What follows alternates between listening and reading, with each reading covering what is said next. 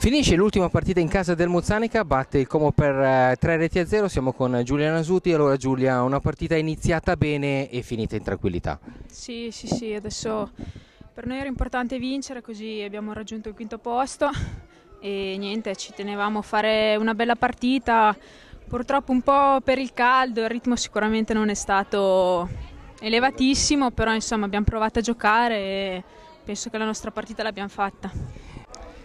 Finita l'ultima partita in casa, si può fare un bilancio della stagione? Sei soddisfatta? Sì, c'è il rammarico per alcune partite che purtroppo abbiamo giocato male, sia, sia io in prima persona, sia la squadra, non ci sono state delle belle prestazioni e quindi potevamo fare dei punti in più. Il quarto posto era un po' irraggiungibile viste le, le prime quattro squadre che giocano sicuramente molto meglio di noi e hanno un altro passo, però insomma sì, si potevano fare un po' di punti in più.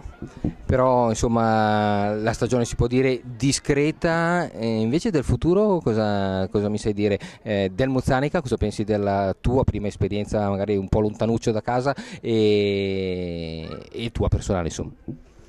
Eh, è stata un'esperienza eh, nuova sotto tutti i punti di vista perché venivo da tanti anni nella stessa squadra vicino a casa quindi un po' il fatto di viaggiare, un po' il fatto di trovarmi in una squadra nuova, eh, nel senso sia come ragazzi sia come società. È stato semplicissimo.